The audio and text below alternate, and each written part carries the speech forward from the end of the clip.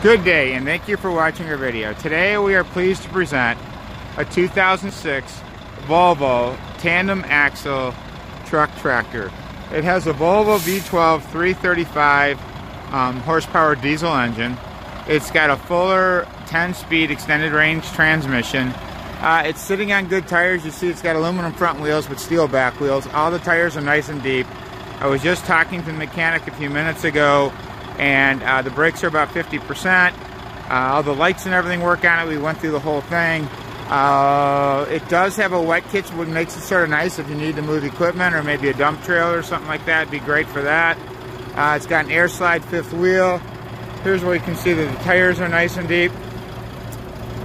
Um, I made the mistake of not turning the lights back on, but they do all work. This, this truck is completely DOT compliant. You can see the wet kit and everything on the other side here. All the glass is good, all the mirrors are good.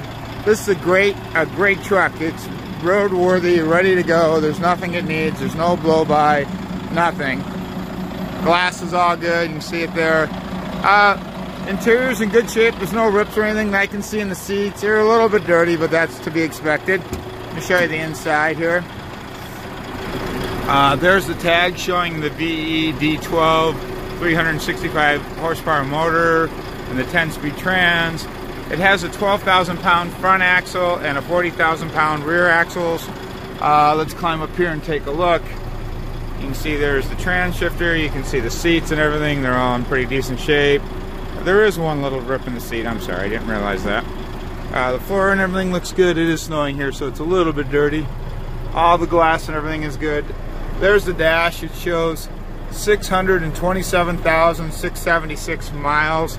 They're taking this truck out of service. They've uh, the only reason they're getting rid of it is they bought a brand new truck, so they're going to use that.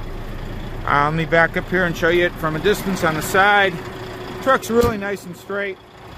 All she really needs right now is a new home. There it is, front to back.